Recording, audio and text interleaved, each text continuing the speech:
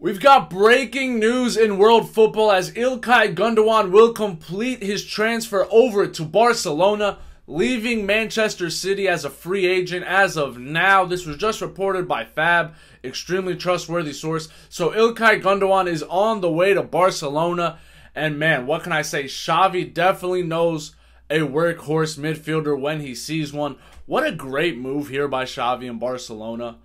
Obviously, there's going to be conversations around how can they even afford this, what's going on with the club, but putting all of that to the side, bringing in such an experienced midfielder, a treble winning midfielder to kind of take Gavi and Pedri under his wing, and De Jong. We cannot forget about De Jong because Barcelona still also does have De Jong.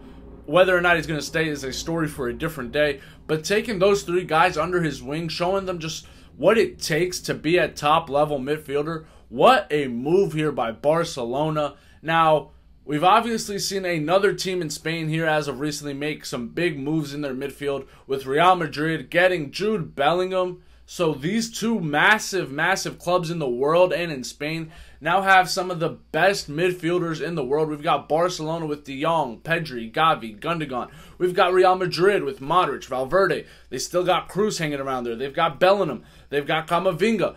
These midfields are absolutely insane here in Spain. In Spain, midfield obviously where the whole play goes through. You need a strong midfield to be a strong team to make a push at the Champions League. Do you guys think that Ilkay Gundogan will bring Barcelona to Champions League level? I personally don't think so, but I did run a poll on my TikTok, which if you're not following already, just hit my link tree down below. All of my links are there. I asked the people with this Gundogan transfer, who has the best midfield in Spain? Is it Real Madrid or is it Barcelona? And 59% of people still went for Real Madrid, which is expected. Real Madrid obviously built for the future through that midfield. They've got young players all around the team. Real Madrid doing a great job of this transition period between some of their older guys to some of their younger guys. Now Madrid completely set for the future. But let me know in the comments down below can Gundogan win a Champions League at Barcelona? Is Barcelona's midfield now better than Real Madrid's midfield?